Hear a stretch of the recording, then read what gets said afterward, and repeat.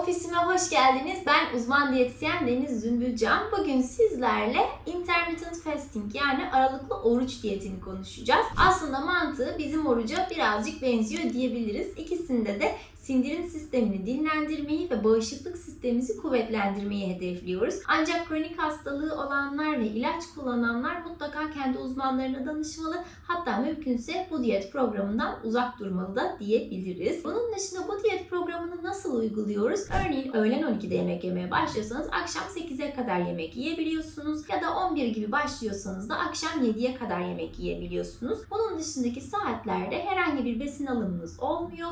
Sadece çay, kahve, bitki çayı gibi, su gibi sıvıları tüketebiliyorsunuz. Tabii ki bunlara kahve ya örneğin şeker, krema, şurup gibi bir eklenti yaptırmıyorsunuz, yapmıyorsunuz. Aksi takdirde aralıklı orucunuz bozulmuş oluyor. Bunun dışında hedefimiz e, vücuttaki bağışıklık sistemini kuvvetlendirmek, anti-aging etki göstermek, yağ yakımını hızlandırabilmek. Ancak bu program her zaman herkese dediğimiz gibi uygun asla değil. Öncelikle bizim her zaman istediğimiz şey sürdürülebilir bir beslenme programı. Yani bu süreci yapıyorsanız sonrasında da normal rutininize geçmede o geçiş sürecini iyi ayarlamanız gerekiyor. Aksi takdirde kilo vermek yerine kilo alma durumuyla bile karşılaşabilirsiniz. Buna çok çok dikkat etmelisiniz. E, ve tabii ki sadece 16 saat nasılsa aç kalıyorum diyerek yemek yiyebildiğimiz 8 saatte de istediğimiz her şeyi yiyemeyebiliyoruz. Burada tükettiklerimize de oldukça dikkat etmemizde fayda var. Yine aksi takdirde kilo aldığınızda gözlemleyebilirsiniz ki bu da hiç hoş olmaz sizin için eminim ki.